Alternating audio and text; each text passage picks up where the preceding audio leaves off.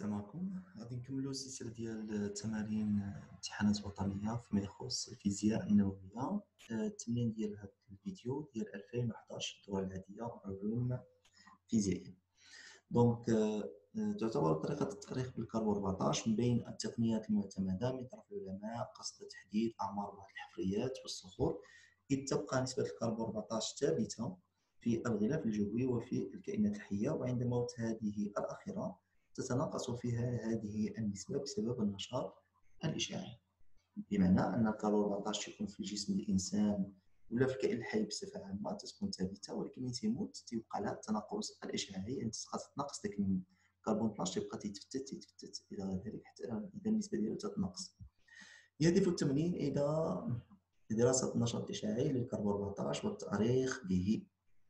إذا بالنسبة للمعطيات عطاك عمر النصف لنواه الكربون 14 هو t un demi تساوي 5570 عام bon واحد u هي 931.5 ميجا الكترون فولت وهذه دائما تستعملوها باش نحولوا ال u لميجا الكترون فولت. وكتلة الدقائق بالوحدة u إلى الكربون الأزوت والإلكترون عطاك الكتلة ديالهم بال u ومنين تعطيك الكتلة ديالهم بال u بمعنى ماذا؟ أن تما غادي يوقع شنو؟ يقول لك حسب. الطاقه الناتجه إذا ملي تقول حسب الطاقه الناتجه غادي تحتاج إما طاقة الربط إما الكتل. فالتمرين عطاك الكتل إذا غادي دير كتلة النواتج ناقص الكتل المتفاعلات ومن الاحسن الكتل تخليهم بال u ومن بعد ضربهم في 931.5 باش يخرج لك ميجا إلكترون فولت.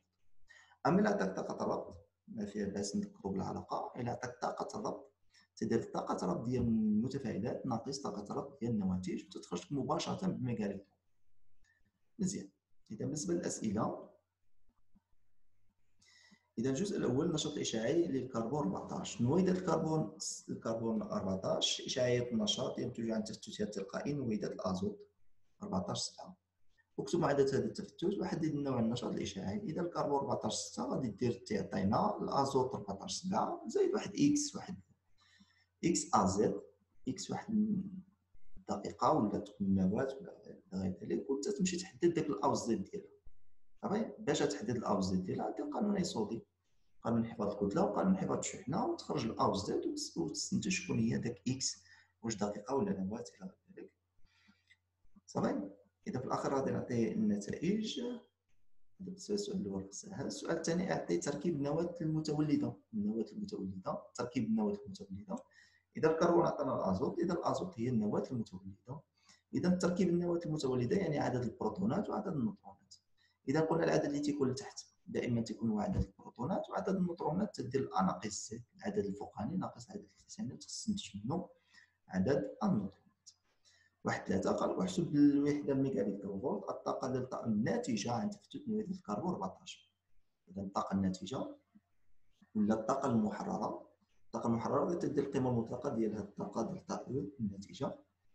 إذا شنو تنديروا هنا باش نحسبوا هذه الطاقة الناتجة؟ عندك الكتل شنو قلنا؟ ملي تيكون عندك الكتل تدير الكتل الناتج ناقص الكتل ديال المتفاعلات يعني الكتله ديال الازوت زائد الكتله ديال الإلكترون ناقص منها الكتله ديال الكربون. وتخلي كلشي بال u ومن بعد تضرب فاش في 931.5 باش تخرج لك بالميجا الكترون ال delta E غتخرج سالبة. غتخرج سالبة لانها طاقه آه، فقدها آه، فقدت هذاك خلال تحول ولا تفاعل آه، النووي تحول النووي مزيان. إذا بالنسبة للثانية التأريخ بالكربون 14 تم العثور من طرف العلماء الحفريات على تمثال من خشب شعاعه ونشاطه الاشعاعي 135 بكالوري علما أن نشاط قطعة خشبية حديثة لها نفس الكتلة ومن نفس النوع الخشب الذي صنع منه التمثال هو 165 بيكريل صافي قبل ما تقرأ السؤال عطاك جوج ديال القيم ديال النشاط الإشعاعي. عطاك 135 بيكريل و 165 بيكريل بغض النظر شنو مكتوب هنايا؟ دائما الكبيرة هي A zéro ديما الكبيرة هي A zéro والأخرى A في لحظة معينة. اذا هذه A في لحظة معينة وهذه هي A zéro صافي؟ دائما A zéro تتكون كبر من A في لحظة معينة.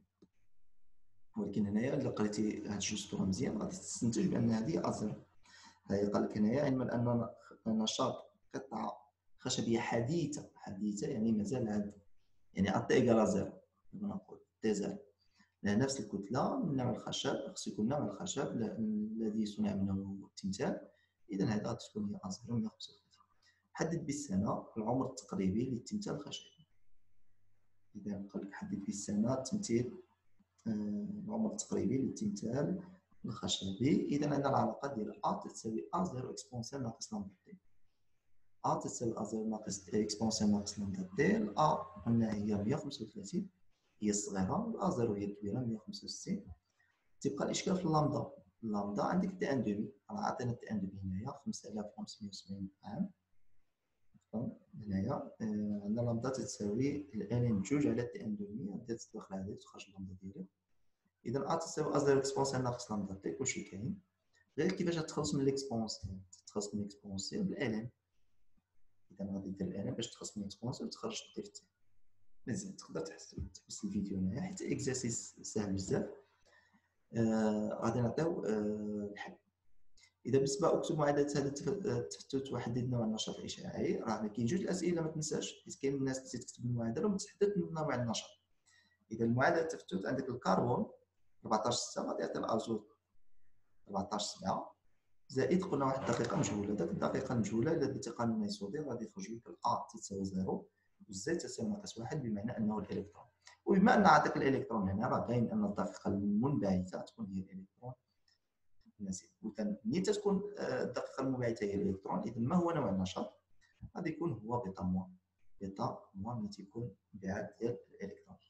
تركيب النواة المتولدة. قلنا النواة المتولدة هي الازوت إذا تحديد آه، عدد البروتونات عدد النيوترونات بالنسبة لعدد البروتونات قلنا هو اللي تيكون لتحت هو 7 بالنسبة لعدد النيوترونات تدير A ناقص Z 14 ناقص 7 هي 7 احسب بالوحدة ميجا الكتروفولت الطاقة الناتجة عن تفتت نويدات الكربون 14 إذا بالنسبة للطاقة الناتجة تدير كتلة النواتج ناقص كتلة المتفاعلات وتخلي كلشي بال u وتضرب في 931.5 بمعنى أن الكتله النواتج قلنا كتله الأزوت زائد كتله الإلكترون. قسمنا الكتلة ديال الكربون.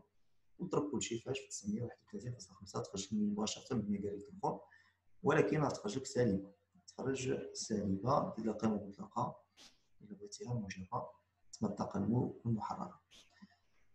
مزيان. هنا بالنسبة للتاريخ بالكربون 14 قلنا كاينة العلاقة ديال A تساوي A 0 exponentielle ناقص لامدا دير A 0 كاينين. A 0 تتكون كبر من A غادي تخرج t un demi من العلاقه ديال t un demi ln جوج على t un demi ومن بعد تخلص بال exponentielle تخلص منهم الان تدخل الان على العلاقه وتخرج t ديالك خاصها تخرج لك 1612.5 اون عام سنه 1612.5 سنه هو الجواب الصحيح اذا تتمنى لكم التوفيق إلى الفيديو الجاي ان شاء الله